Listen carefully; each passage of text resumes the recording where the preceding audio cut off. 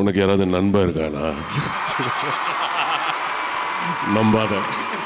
என் நண்பன் நல்லவனுங்க சார். சரி, நல்ல அது-. காஷ்மீர் ஆப்பிள் அப்படியே ஃப்ரிட்ஜில் இருந்து எடுத்து கோயம்புத்தூரில் வச்ச மாதிரி இருக்குங்க சார். கொஞ்சம் தூக்கம் வந்துருச்சு ஆப்பிளுக்கு நீங்கள் பேச ஆரம்பிச்சீங்கன்னா எங்கள் தூக்கம்லாம் போயிடும் சார்? அதுக்காக நாங்கள் ரெடியாக இருக்கோம். நான் கார்த்தி சொன்ன மாதிரி இந்த பொய் இருக்கு. யாராவது நம்புவாங்களா? இவர் பேச மாட்டாரா? நான் பேசுவேனா? ஐயோ ஐயோ இதை எங்க போய் ஷூட்டிங் சொல்றது? ஸ்பாட்ல இல்ல சார் உங்க வீட்ல உங்க பசங்க கிட்ட ஒய்ஃப் கிட்ட எல்லாம் கேட்கணும் சார். அவங்க சொல்லுவாங்க சார் உண்மையை. ஒய்ஃபும் அதிகமாக பேசுவாங்க நீங்களும் சார் என்ன முதல்ல எங்க அண்ணன் தான் ஓட்டுவாரு. இப்போ ஓட்டுறதுக்கு இன்னொருத்தர் சேர்ந்துட்டாரு. தாங்க முடியல இவரை. வந்திருக்கிற பெரியோர்கள் எல்லாருக்கும் வணக்கம். கார்த்தியோட ஃபேன்ஸ் சூர்யா சாரோட ஃபேன்ஸ் எல்லாருக்கும் வணக்கம். இசை விழா ஸோ கோவிந்த் வசந்தா. வசந்தா அவங்க அம்மா பேர் அப்படின்னு கேள்விப்பட்டேன். எங்கள் அம்மா பேர் வசந்தா? ஸோ அழகான பேர்.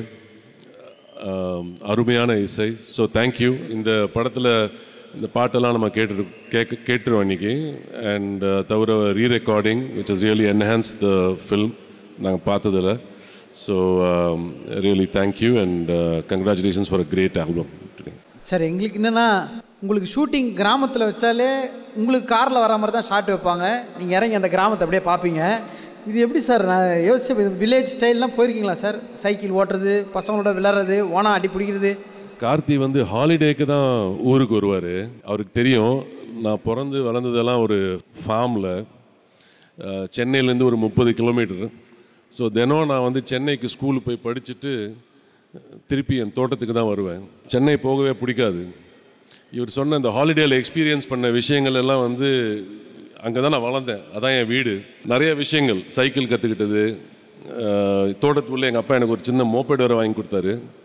அது அதெல்லாம் வேற ஓட்டுவோம். டிராக்டர் ஓட்டுவோம். ஸோ இதுதான் என் லைஃப் அதான் எனக்கு பிடிச்ச வாழ்க்கை. அதை விட்டுட்டு சிட்டியில் வரும்போது ரொம்ப அன்கம்ஃபர்டபுளாக இருக்கும். Nature I am farm boy so இப்போ இதெல்லாம் நீங்கள் கிராஸ் பண்ணி வந்தவர் தான் எங்கள் சார் ஓகே சூப்பர் நம்பர் மாதிரி இல்லைல்ல. அவர் கலருக்கும் ஸ்டைலுக்கும் வில்லேஜ் பாய்னு சொன்னா யார் நம்புறது? சார் எனக்கு விஷுவலாக கனெக்ட் ஆக மாட்டேன் சார். அரவிந்த் சாமி சார் சின்ன வயசில் கோலி ஆடுறாரு பம்பரம் விடுறாரு இப்போ கார்த்தி என்ன நான்லாம் ஓகே பண்ணிட்டு தோணும் திங்க் பண்ணி பார்த்தா எப்படி இவர் என்ன பண்ணுவார்? நூறு மாட்டுக்கு நடுவில்.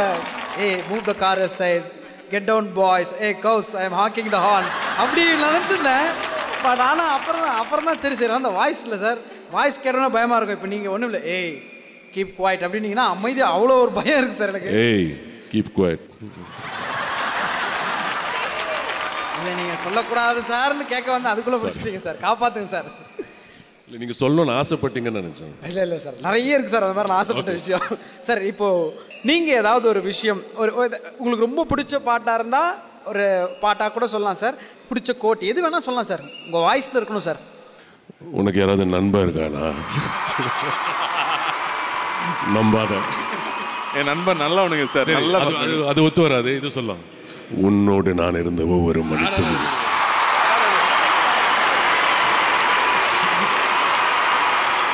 அந்த ஒரு லைன்லேயே எல்லாருக்கும் புரிஞ்சிருக்கும் எங்கள் ரிலேஷன்ஷிப் என்ன ஸோ ப்ரொடியூசர் பற்றி சொல்லிடுறேன். சூர்யா அண்ட் ஜோ தேங்க்யூ இந்த படத்தை வந்து எடுத்து பண்ணதுக்கு இஸ் இஸ் ரியல் ஆனர் நீங்கள் வந்து and you thought of me so thank you very much Suriya வந்து ஷூட்டிங் ஸ்பாட் ஐ திங்க் எனக்கு தெரிஞ்சு ஒரு ரெண்டு தூரம் வந்திருப்பார் நினைக்கிறேன் ஸ்பாட்டுக்கு. இல்லை?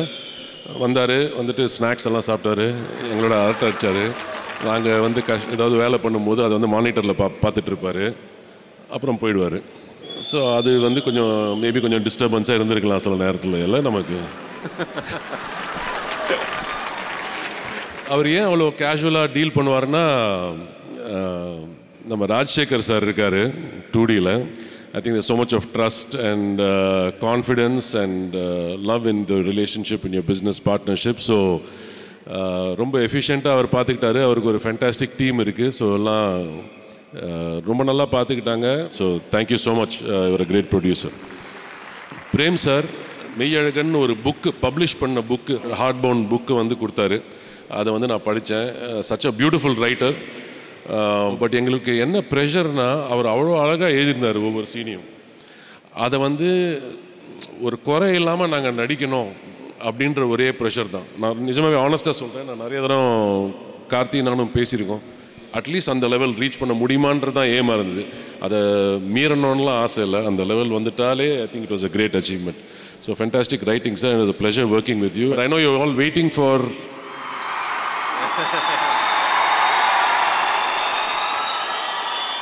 இது என்னன்னா